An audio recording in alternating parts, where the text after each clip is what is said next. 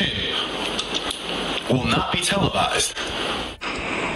A lot of people are under the wrong impression that YouTubers do not have to take the oath and they do not have to engage in the activities and processes that the music industry folks and the people from Hollywood have to partake in. This could not be further from the truth. As we know nowadays, YouTubers, TikTok stars, and Instagram stars, all these other folks, they in some cases have more of an influence and fan base than actual stars from movies and musicians. It's a well known fact that once a YouTube channel reaches 100,000 subscribers, they get a YouTube rep. It sounds good because you think you're getting someone they can directly contact and solve issues with if you're having any problems. But the way I see it and the way it's also portrayed, you get a manager. They kind of become the manager of your channel, and that's literally them putting a handler over you and over your channel that is to limit and guide you on what you're going to say and which direction you're going to go.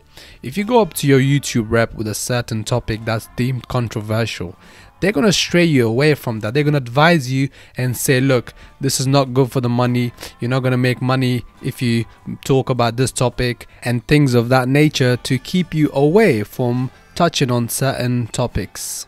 I'm, I'm gonna be honest with you guys. You know, getting to a certain level. I'm not saying I was involved in no media company, but when you get to a certain level, okay, because I've had, um, I'm, I'm gonna be honest with you guys. I've had sponsors, all right, reach out to me, okay, um, about last year. Uh, no, no, no, no, not last year. A, a couple of months ago. This was actually a couple of months ago, right? Located in New York City and they wanted to sponsor my channel. I don't know the product. I can't recall the product that they was doing. It was about something else. Um, you know, they were they were definitely Caucasian. You know what I'm saying? I'm gonna just say that they was Caucasian. I spoke to them on the phone. They wanted to do business with me, but they wanted they wanted full control over my channel. And I, I simply told them I simply told them uh, I'm not interested. All right.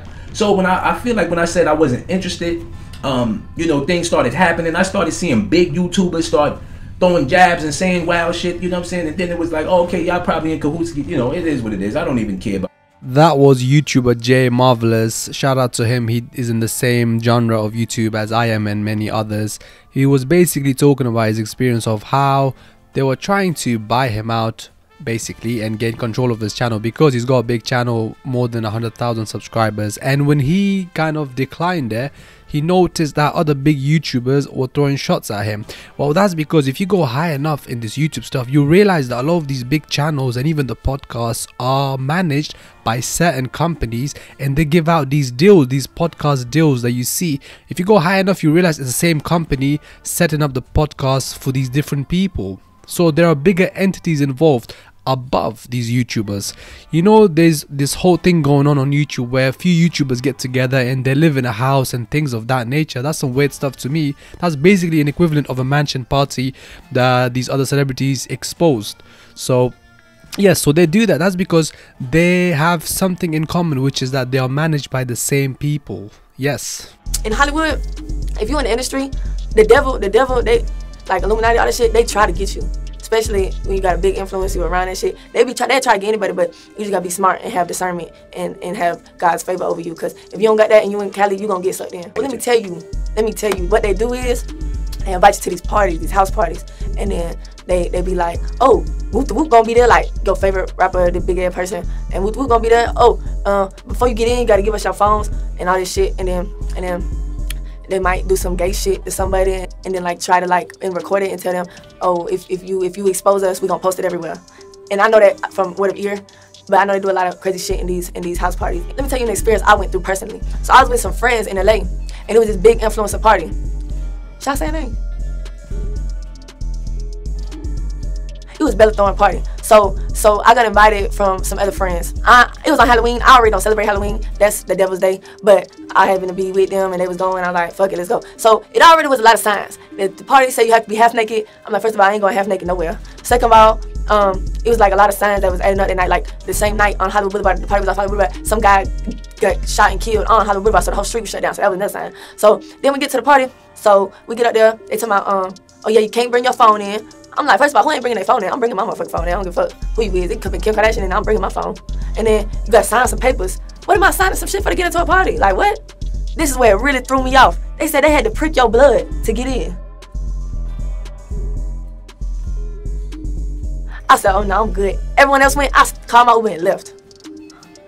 Like that's the shit where I think they be trying to get you. And like if it's like like you think about it, people move to LA for a dream. They chasing money, fame, clout, whatever. So they gotta think about it. Somebody, a young girl that's trying to get on, they just moved out there. She gon' oh hell yeah, better throw it in there. You don't know who else in there. Like connections. Me, I'm I'm good. Like that shit gonna come naturally. I don't gotta prick my finger, take my blood against a party. If it's meant to happen, it's gonna happen. I'm not finna do no something, something like that. So that was Vicky Wo, who became famous online through Instagram and YouTube, and she's saying basically the same type of story that we've heard about Hollywood and the music industry. So even at lower levels, this type of stuff happens. This is for the people that deny that, oh, this only happens at the highest, highest level. No, this is proof that even at lower levels of fame and popularity, you get invited to certain places and get access to certain spots based on what you do and if you pass the first few hurdles. For example, in her example, she said that they asked her to, you know, take some of her blood and she denied and she went back. So I'm sure she was never invited again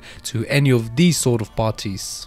This is the reason so many of these YouTubers go crazy after they become too famous because they've done some shit that will never leave their souls and they've left a mark on their souls basically. One good example is FouseyTube who became really famous like I think around 5-6 years ago. Then he just went crazy. He went crazy. He's even got a video of him just going up to a podium and just screaming and dressing really weirdly. And he even connected with Drake. How do you think he did that? YouTuber gets access to Drake Come on, man. But here's the thing a lot of these YouTubers already came in having already taken the oath. So they had already taken the oath and then they just entered YouTube. And then you have some that were already disgusting. And then, you know, that just YouTube allowed them to broadcast their disgustingness to millions of people. A good example is this person. I'm not going to say the name, but let's watch a clip of what I'm talking about. Good job, Lucy! But next time, shake your titties more. And you, take off the jacket and show more. Good job over there. Hey, what's up, you guys? So it is Family Day, and like every Family Day, it's full of emotional eating. And Lucy, I checked my statistics, and I have a lot of child molesters watching, so can you please eat a cocktail weenie? Do it slow. oh. Oh, I like that chocolate, that weenie. Ooh, it tastes so good. Do like an Asian, like... You got the question wrong. You know what that means. Yeah. Ah. Making my way downtown, walking fast, faces passing homebound. If you're still watching the video, please hit the like button and turn your notifications by clicking the notifications bell. So there's this YouTuber, in every of his thumbnail videos, he puts up this pose, the hush pose. What is he referring to? I don't know. You tell me. Well, I believe, here's my opinion, just an opinion, I haven't done too much research on this guy. I believe that's him signifying his oath. He's taking the oath of silence. You know what that means. That's connected to Freemasonry. He's taking the oath. I mean, he's clearly a successful man by the standards of the modern world. So, yes, he could be referring to his allegiance with the Freemasons. But anyway, there are some YouTubers that have already come in and they've already taken the oath, but they've just been put on YouTube for certain purposes. A good example of this is Kevin Samuels. To the CIA, one love to the FBI. Just like Derek Jackson, Kevin Samuels is a plant as well. Kevin Samuels' mission is to lure invulnerable, heartbroken black men who were raised by single mothers or with beta fathers who didn't teach them about women. He's being pushed as a hero for men to follow. Kevin Samuels' mission is also to bring women on so that men only see the most ratchet hood women, which paints the narrative that all black women are like this so stay away. My theory is that Kevin Samuels will either be exposed as a closeted homosexual or he will be taken off the world stage. So the video that you just watched on your screen, this person who made this video actually predicted how Kevin Samuels was going to go out and honestly those were really two good predictions. I thought it was going to be the colorful way that Kevin Samuels was going to go. But as I mentioned in one of my previous videos, I don't know whether Kevin Samuels even existed. Like, was he even real? See, I don't know, and I don't think he was real. I tend to believe that he was put on YouTube and given sudden popularity to push an idea out to the masses and then for him to disappear. In my opinion, I think his purpose was to make men dislike women overall and for them to go the other way. That's what I thought really. Men going their own way. Have you ever heard of this movement? Well, that movement, in my opinion, is really not a heterosexual move. It's for men to go their own way, but they're going their own way together. That's the ultimate purpose. But hey, we'll never know all we can know for now is that his death was definitely very suspicious the way it happened. So, about a week, not today, but about a week ago, I sold my soul. You understand what I'm saying? And uh, ever since I sold my soul, I haven't been happy ever since. Listen, I had to do it, you understand what I'm saying? Because, like, I had to do it because I was trying to make it, like, you feel me? Like, and as of when I was, like, selling my soul, um, like there was things that I could sacrifice about and stuff like that, and I sacrificed myself. I could have sacrificed anybody, but like, eh, but when you sell your soul, you gotta sacrifice someone that you would love, and I sacrificed myself and stuff like that. You know what I'm saying? Um, and I did it. You get what I'm saying? Um, I couldn't do it with nobody that I love. The demon asked me, uh, uh you, "Are you sure you want to sacrifice sacrifice someone that you love?" I said, "Nah."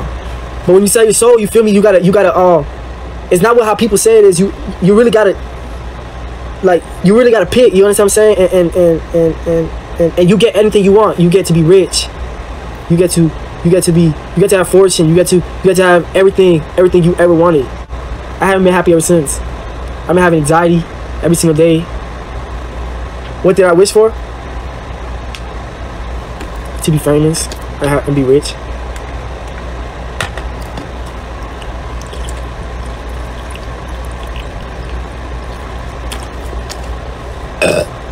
you ain't rich, not yet.